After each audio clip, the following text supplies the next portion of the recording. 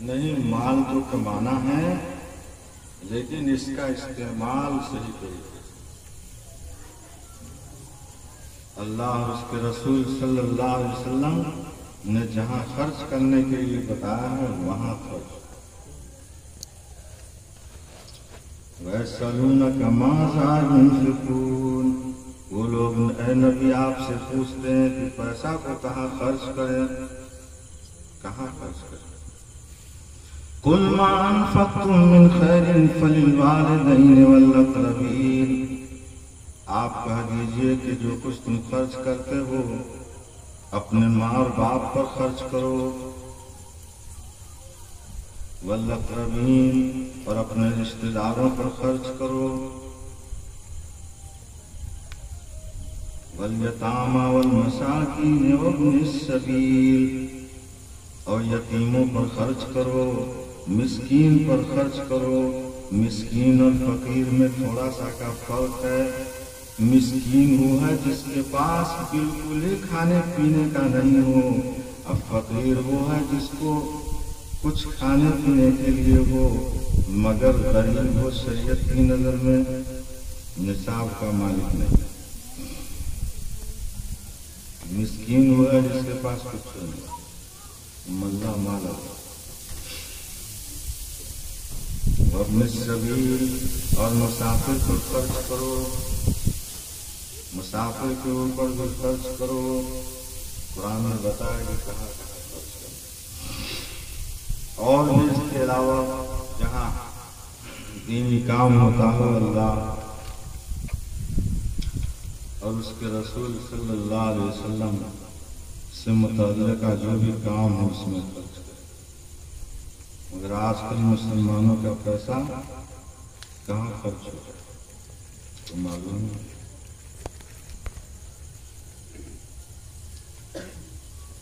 तो मैं ये कह रहा था कि इंसान की ज़िंदगी में दो हालत है।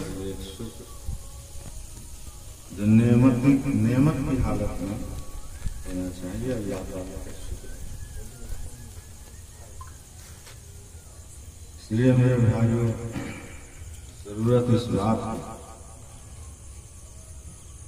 की हम लोग अपनी ज़िंदगी को सुधारें, नमाज़ के पाबंद हो जाएँ और अल्लाह ताला का ज़िक्र करें। ज़िक्र बहुत बड़ी चीज़ है। उसकुरुल्लाह कसीर अल्लाह अल्लाह ताला को याद करो ताकि तुम कामयाब हो जाओ।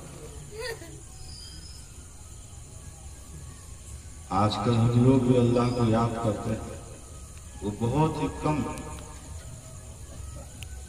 कुरान करीम में कहा, मुनाफिक की अलामत मुनाफिक की पहचान है कि वो अल्लाह को बहुत कम याद करते खेती बाड़ी का तस्करा देते मकान जायदाद का तस्करा देते हर शख्स की ज़ुबान पे मगर ज़िक्र अल्लाह ताला को याद करना ये आजकल बहुत ही कम लोग ऐसे हैं। कलमे तैयब ला इल्लल्लाह भी ज़िक्र है। और सबसे बेहतरीन ज़िक्र ला इलाहा इल्लल्लाह मुहम्मदुर रसूलुल्लाह साउंड में आ रहा है ये ज़िक्र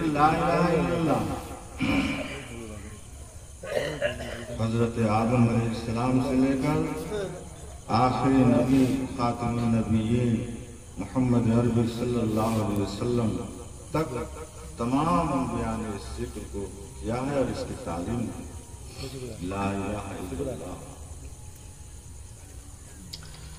हज़रत मूसा ने एक मरतबा अल्लाह ताला से कहा हमको कोई खास ज़िक्र चाहिए, जिसके ज़रिए हम आपको याद करें। क्योंकि हम नबी हैं तो हमको एक खास ज़िक्र दीजिए। तो अल्लाह ताला ने फरमाया, पढ़ो, ला कलमा पर कहा गया तुम भी हज़रत मूसा ने फरमाया कि ये तो हर शख्स पढ़ रहा है ला इल्लल्लाह, हम नबी हैं, हमारा मकाम ऊँचा है तो हमको कोई खास ओरिजिनल नहीं है ना? अपने में से सिखाइए।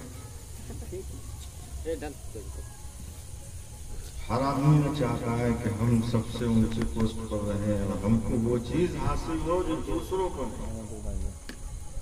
दुनिया वाले जो दुनिया में चाहते हैं कि अगर इसने एक लाख की गाड़ी खरीदी है तो हम दो लाख वाला ही लाएँगे। हम हमारा स्टैंडर्ड होना चाहिए। तो दुनिया वाले दुनिया में एक दूसरे से शपथ करते हैं।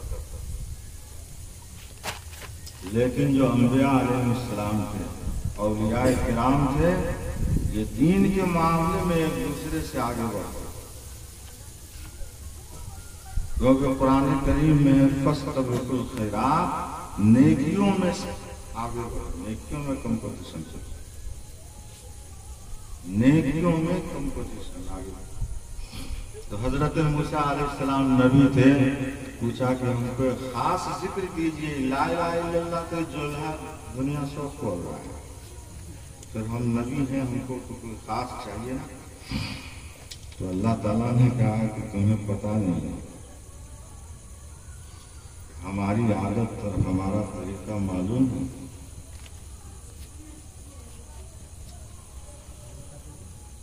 कि जो चीज़ ज़्यादा कीमती होती है, उसको हम पूरी दुनिया में आम कर देते हैं। जो चीज़ ज़्यादा कीमती होती है, अल्लाह का ये तरीका है, ये सुन्नत है।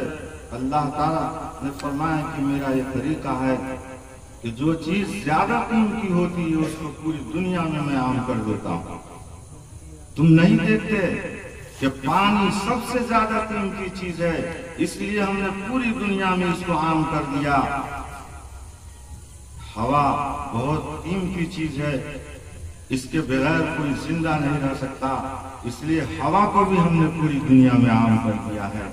हमारा तरीका है कि जो ज़्यादा कीमती चीज़ होती है, उसको हम आम हैं।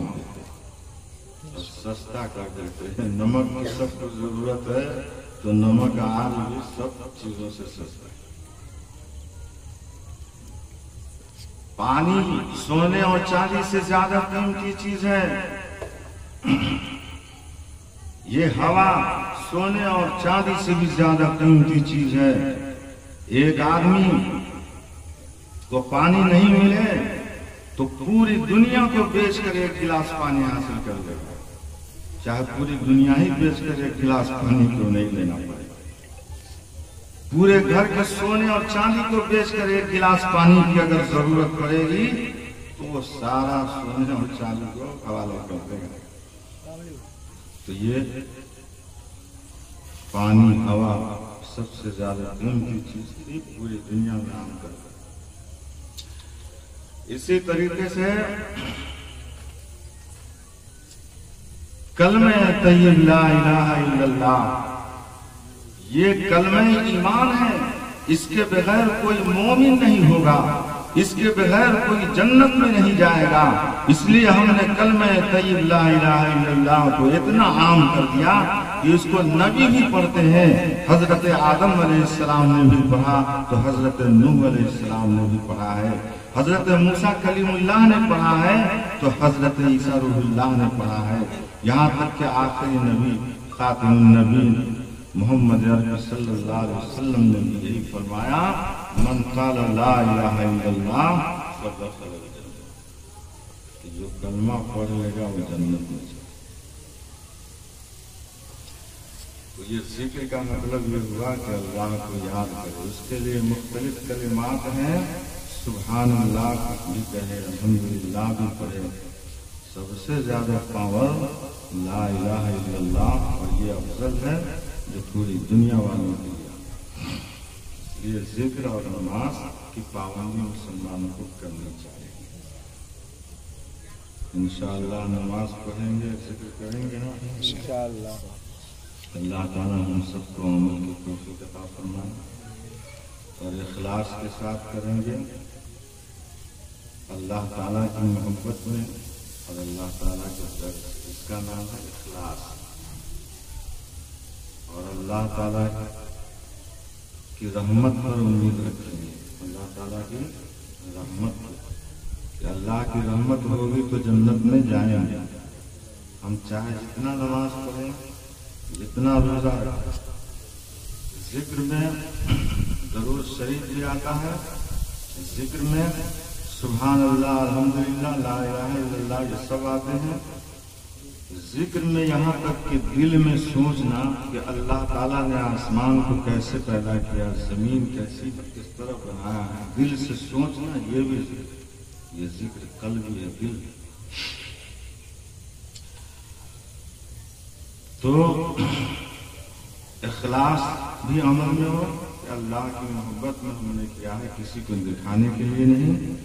और अल्लाह ताला की रहमत का उम्मीदवार। रहमत पर उम्मीद रखें। अल्लाह की रहमत होगी तो हम जन्नत में जाएँगे, नहीं तो ये अमल बिल्कुल बेकार है। चाहे हम जितना अमल करें। इसलिए अल्लाह ताला की रहमत पर उम्मीद रखें। अल्लाह ताला हम सबको नमाज़ पढ़ने की तौफीक अता फरमाए। और ज़िक्र करने की तोफी कला फरमाए और रहमत का उम्मीदवार